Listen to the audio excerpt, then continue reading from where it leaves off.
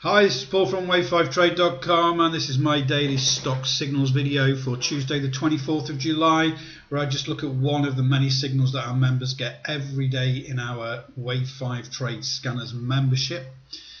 In the membership area our members are able to look for long fifth wave trades, short fifth wave trades both of those signals are on the weekly, daily and the 60 minute time frame. We've also got stochastic long and short trades on intraday.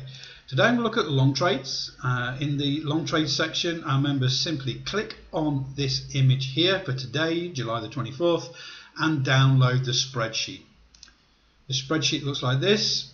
Okay, I'm going to look for 60 minute uh, time frame today uh, for a potential long. We also at the bottom of the video here you can see for the results for daily and the weekly. So these are all potential fifth wave trades on those different time frames and the fifth wave is the highest probability move in a trend within an Elliott wave sequence there. So high probability trades. Uh, I've chosen just one of these today just to set up on one of the charts. So let's have a look at that right now. So I've chosen MELI uh, on the 60 minute time frame for a potential long. This is our Elliott Wave indicator suite for the Thinkorswim uh, platform. It's also available for MultiCharts, TradeStation and NinjaTrader NT8.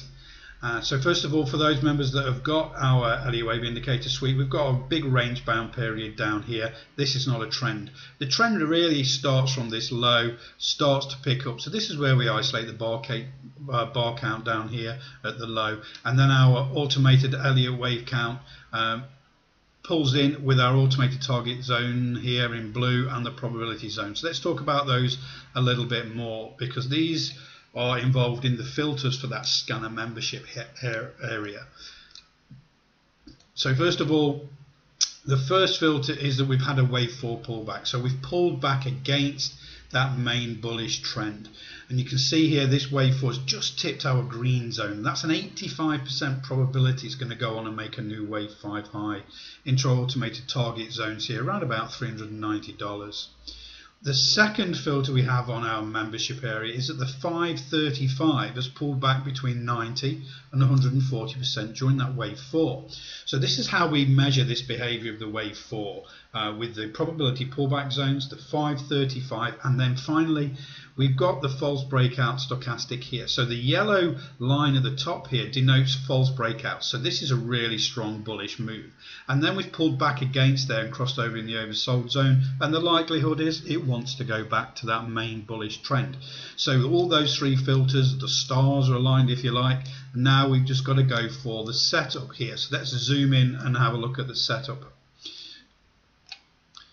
So we need to be outside the 6-4 moving average high, and this is on our Elliott Wave Indicator Suite uh, for all the platforms, and this is the green uh, moving average here. So this is our start point for uh, an entry.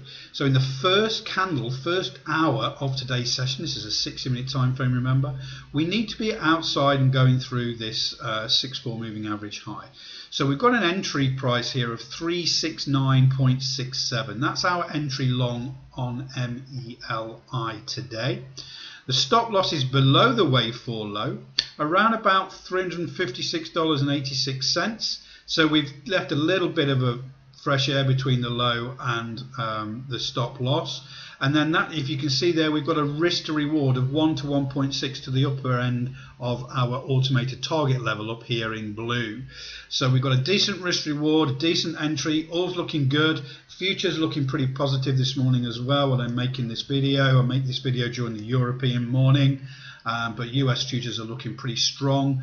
So this looks good for a long today if we can get that. Be also be aware of the gaps, uh, guys. Uh, we don't want to be gapping up above the entry, otherwise our risk to reward is not good enough for this trade. So we're looking for this to open reasonably flat, flat or a slight gap up.